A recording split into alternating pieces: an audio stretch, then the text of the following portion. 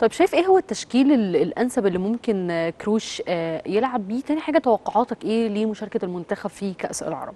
أنا أنا شايفها مشاركة كويسة وهتفيد هتفيد لعبتنا بشكل كبير جدا. يعني برضو إحنا لازم آه، زي ما زي ما بنقول السلبيات نقول برضو في إيجابيات كتيرة إن بدأ يدخل ناس كتيرة جدا. ما كانتش دولية وبقت دلوقتي دولية. فبيتفرج على الماتشات كلها بيتابع ومتابع كويس جدا للماتشات. شايفين مهند لاشين كمان دخل في المجموعة. مهند لاشين من لعيبة كويسة جدا. إبراهيم عادل في وقت من الأوقات كان موجود في المنتخب وموجود. آه، في أسماء كناريا دخل آه، من فترة. عمر مرموش اللي قدمه لنا بصورة هايلة ويمكن آه،. يعني خد risk كبير جدا إن يجيب عمر مرموش ويبدأه. برضه دي تحسب له. ففي ايجابيات كتيرة جدا من ضمنها البطولة العربية اللي إحنا بنتكلم عنها دي. هيظهر فيها لعيبة كتيرة جدا كويسة.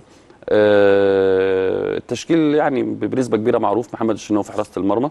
هيبقى أكرم توفيق آه، ناحية اليمين وأحمد فتوح ناحية الشمال. الونش وأحمد حجاجي أحمد حجازي. هو أيمن أشرف كمان موجود بس يعني هيفضل يلعب بالونش وأحمد حجازي طبعا. آه عجبني جدا اللي هو خد محمد عبد المنعم ومروان داوود لكن محمد عبد المنعم من من وقت سموحة من السنة اللي فاتت وأنا متابعه مساك كويس جدا وهيبقى ليه مستقبل آه، كبير يعني. لكن تمام. خط الظهر زي ما إحنا قلنا يبقى يلعب بالرباعي أكرم توفيق ناحية اليمين وناحية الشمال أحمد فتوح والونش وحجازي في آه، اتنين مساكين. آه، خط الوسط طبعا عمرو السولية.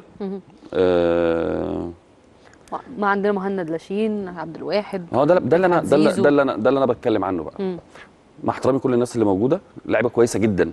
ومهند لاشين لعيب كويس عمر كمال أحمد رفعت زيزو قفشة مصطفى فتحي حسين فيصل.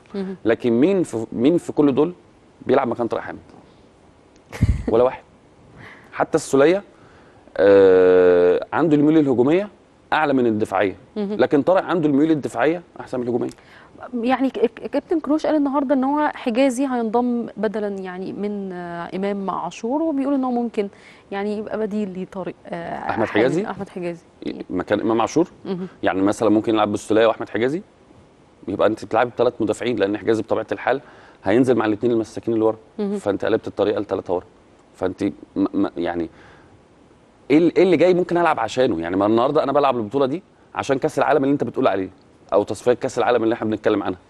على الأقل إدينا الشكل أو المنظر العام اللي هنلعب بيه. لما لما نيجي نخش في في التصفيات هنشيل آه، سين ونحط صاد صاد اللي هو المحترف. فإحنا عارفين الشكل اللي إحنا بنلعب بيه لكن بالطريقة دي إحنا مش عارفين الشكل. يعني كون إن أحمد حجازي هيخش جنب السولية فده ما- يعني مش هيحصل استحالة يحصل. في الماتشات ال- ال- ال- اللي هي ال- ال- الجامدة أو التصفيات ال- ال- الرسمية اللي إحنا داخلين عليها في كأس العالم لا أحمد حجازي هيلعب مساك. طب ليه اللفة؟ ما أنا اللي هلعب بيه أكمل بيه. بس بشيل الأفراد بشيل المحلي وبحط راجل محترف. فيعني خلينا نقول طيب إحنا دلوقتي معانا برضو كمان يعني حمدي فتحي. وعمرو السولية.